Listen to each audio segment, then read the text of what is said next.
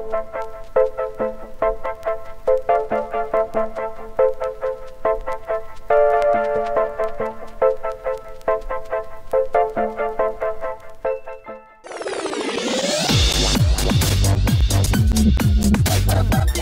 everyone, this is Dave from Geekanoids and this is the Proporta USB Turbocharger 5000.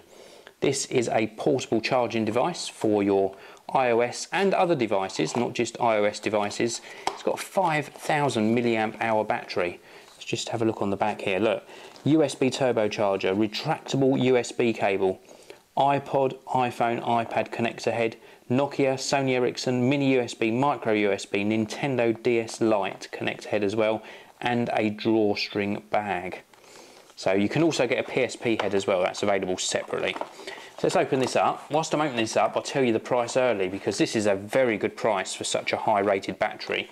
It's going to cost you £43 or $58.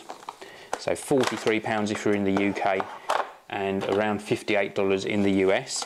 And as always, you don't have to do this, but if you want to, you can order this through the affiliate link on the Geekanoids website or through the link that you can find just underneath this video. You get 10% off all of your Proporta orders.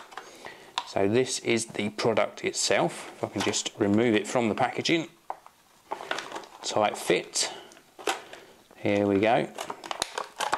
So we have one rechargeable battery. It says here as well, look, uh, the low charges any USB device, such as smartphones, iPods, digital cameras. The high charges any USB powered device, including the above plus the Apple iPad. So there's a high voltage one as well, and you can see these labelled up here, low and high. The import is for charging the battery itself. And then if you push here, it shows you the actual, actual battery level that's in the unit. Now I'm on quite low battery level here at the moment and that's purely because I've been testing this. This is around about 50% charge and this is obviously 100% charge and you can click to turn the unit off. Here's your drawstring bag and inside here we have got the instructions which you probably won't need and then we've got all of the different heads. Oh and he drops one. Let's just pick that one up that I've dropped and you can see how this works. So this is the retractable cable, like so, and goes back in. On one end we've got the USB socket and on the other end we've got this uh, interchangeable head unit and this goes into either the low or the high. I'm going to plug it into the low one for now. It goes around this way. And once that's in the battery, you then choose which charging head you want to use. So we've got this one, which is the mini USB, and then we've got a micro USB and then I think this one is it's probably going to be the I think that one might be the Nokia. No this one's the Nokia. This one's the tiny little Nokia. This one is the Sony Ericsson. And then this one well I can't remember what this one is now.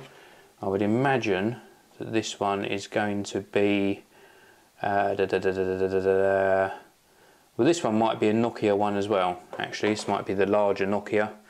And then we've got the 30 pin dock connector. So we've got all those choices and then you choose which one you want to use. You pop it in like so.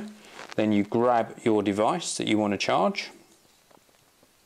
So we will use my iPhone 4S and then we plug in the dock connector, making sure we get it the right way round like so into the device and then we turn the battery on. As we turn it on you can see that that has in fact started charging. We turn it off again and it should stop charging. It's still indicating that it's charging. Maybe this is just to show the battery level so maybe it's on all the time. For me I would take that as being an on off switch but even with it on its off position it's still actually charging the device. So this button here is purely just for showing the charge that's left in this battery. So let's unplug that and it should stop charging. There we go, you can see it's now stopped charging. Let's plug it in again. And it actually doesn't start charging until you push that button and then it starts charging. just up the top here. So how cool is that? Now in my tests, let's unplug that and put that to one side. In my test, this little battery here, I say little, it's little in size. Look at that compared to the iPhone 4. Not bad at all, is it? Probably about the same size as the iPhone 4 in the case. And it's got a 5000 milliamp hour battery. That is good enough to give me almost two full charges on my iPhone 4S. Now it should do two easily, but I found that I could get two complete cycles and then this would start really sort of warning me that it was going to run out. So two full charges on a device like the iPhone 4S, this is absolutely brilliant. As I say, £43, $58, absolutely fantastic. USB turbocharger 5000, very neat little package, useful range of adapter heads as well if you've got different devices you need to charge. Thank you very much for watching and I will see you all in the next video.